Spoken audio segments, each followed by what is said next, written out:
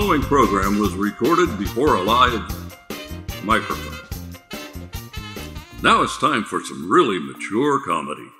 It's so old. How old is it? It's so old, the material is copyrighted BCE for before comedy existed. So here comes Senior Sex. No, no, no, it's not sex like SEX. It's sex as in seconds. Senior seconds, because senior moments are too hard to remember. Got it? Got it.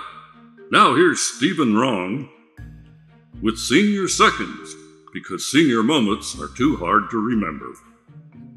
Right. Stephen wrong, not right. Because for every right, there's a wrong, right? Wrong. Right. Excuse the flashlight for a spotlight, folks. Hey, lighting systems are expensive. This act is operating on a shoestring. Now, at my age, it's slip ons. Shoestrings are a thing of the past. oh, excuse me, folks. It's not you, it's me. I just don't seem to get enough sleep these days. I read somewhere that for every hour of sleep you miss, you lose a little off your lifespan. If that's the case, I figure I've been dead for about three years. so you folks have the privilege of being enter- entertained by the first zombie comedian. to start off with, I just want to let you know that I run a clean act. You won't hear any F bombs like some of these comics today use because they can't think of anything more clever. The only F bomb you might hear is the kind that makes you glad you're out there and I'm up here. And if I cross a line, but you're not sure, just ask your grandkids. You're a great audience, you really are. I'd like to take every one of you home to meet my wife. God bless her, we've been together over 55 years now. We've been talking about taking a second honeymoon up to those big falls between New York and Canada. Uh, uh, yeah, Niagara, that's the one. We're calling it our Viagra Niagara. You know, that little blue pill that you take when your pencil has more eraser than lead in it. Yeah, that Viagra. Funny thing about that, I didn't have that problem until recently, so I didn't know much about it when it came up or wouldn't come up. My wife talked to her urologist about it. She gave her some samples. When the time came, she said, I got something for you to try to help you out. It's in the cabinet in the kitchen. It's blue. So I go in the kitchen and look in this box. Stuff in it's blue. So I come back with the box. Is this it? I said. Says on the box, Miracle-Gro. Talk about senior seconds. The other day she wasn't feeling so well. So she asked me to pick up a few groceries. She wrote down what she wanted and put it on the kitchen table. Well, I walked out without it.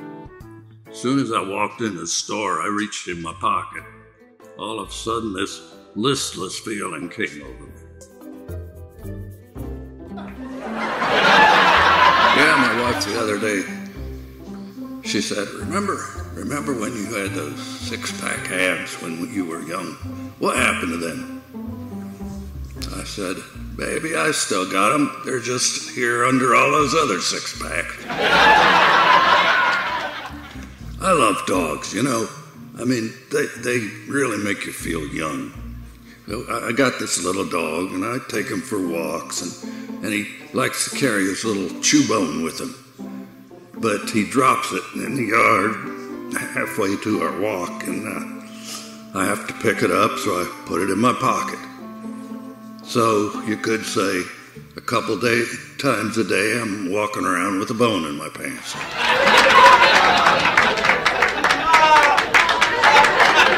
We did take a trip to London seven years, several years back. We got a room in a swanky hotel on the West End, a short walk from Westminster Abbey and Parliament. Trouble is, our room opened right out into the alley where they collected the garbage. 5 a.m., and here comes a truck. I hear it backing up and a bunch of footsteps. Then I hear in perfect harmony, All clear, all clear, all clear.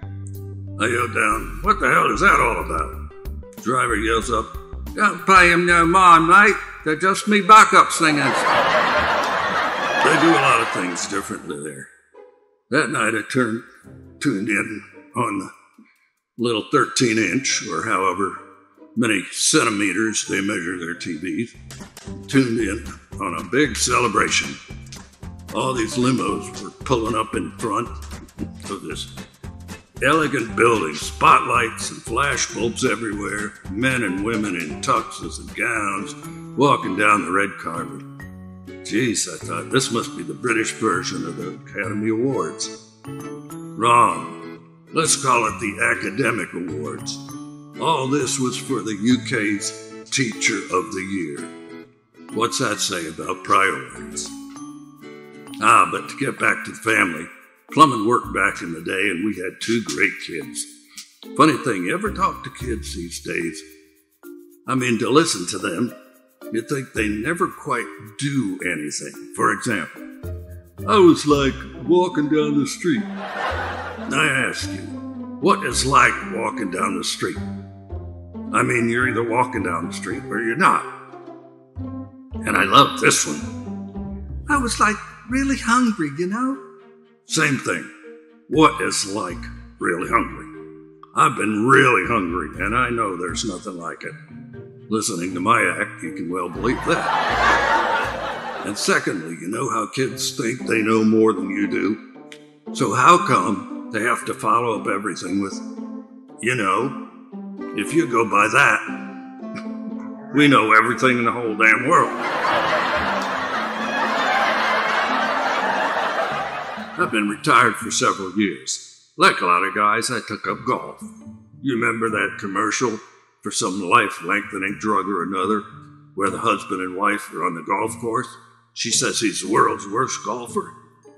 Well, I auditioned for that commercial. I really did. But I wasn't good enough.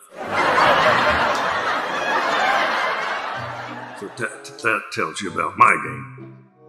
But I'm philosophical about my score. Say a pro takes up golf at age six. I was 60. So, working the numbers, he should be 10 times better than me. So, if he shoots a par of 72, if I make anything under 720, I figure I'm ahead of him. I must say, however, that I have broken 80. Still paying for all those damn windows, too.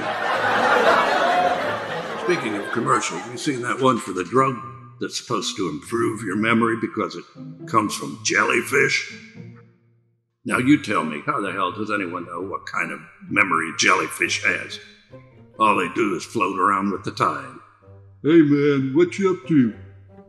Nothing much, just floating around like usual. I think I seen that bunch of rocks down there before. Was it yesterday or the day before? I don't know. Who cares? Let's go sting some breakfast. I haven't been a comic all my life. I know some of you say I'm not one now and never will be. But I can't help. Some people have no sense of humor. I've been a musician, a supervisor, a woodworker. I once worked in a wood shop where they made just about anything that could be made out of wood. We had one guy who was a real ace, could build anything. We got him from a boat works, and you have to know your stuff at a job like that. Well, one day he was working on a yacht and he hit his head. Poor guy wound up, wound up making himself a little dinghy instead. So they canned him. When I was a musician, I worked with a guy who was one of the greatest songwriters I've ever known. He was so good. He was so good that when he got the jitters, he'd take a tranquilizer and compose himself. I know a lady who was a social worker. She worked at some relief agency, and one day, this business, this homeless guy comes in and demands a hundred bucks. She said, "I'm sorry, sir, we just don't hand out money like that. There's a process involved." The guy says, "Don't give me that. Just give me the hundred. She got a little miffed at that and said, Look, if you want help, you have to go through the proper channels. The guy says a few choice words about what she can do with her channels, then spits on the floor and storms out. She goes to the door and yells after him, Hey, buddy, what do you think this is? The Salvation Army? Yeah, that Salvation Army, real spit and polish outfit. I went into one of these dollar stores the other day and asked if I could buy a dollar. Hey, it's a dollar store, right? The Cashier looked at me and said, Sure, that'll be a dollar twenty-five. Inflation, you know, everybody else went up, so we had to go up a quarter. Jeez. I have one of those digital alarm clocks. Don't you love today's technology? One of the little lights on the display went out. now a five looks like a nine and vice versa. When I get up to go to the bathroom, I don't know if I just went to bed or if I'm just getting up. Well, much to your relief, I know, I'd like to leave you with a few imponderables. You know, those questions that no one takes seriously enough to try to find an answer. Some are mine, some I've borrowed. Here's one from the late, great George Carlin. If God commanded the serpents to crawl on their bellies for the rest of time for tempting Eve, how did they get around before that? Whoa! Almost got decked by flying, flying diamondback. Or maybe they had wheels. Watch out for that S curve. this one's from Robin Williams. If they call it rush hour, how come nothing moves?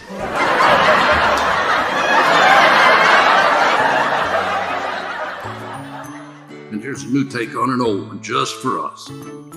If a tree falls on your house and your hearing aid batteries go dead, does it make any sound? And why can't they declare no fly zones around picnic areas? Well, thanks for sharing a few of your moments with me, and hopefully, hopefully a few smiles. And if you're like me and you do only one thing tomorrow, share one of those smiles with someone. Thanks for listening.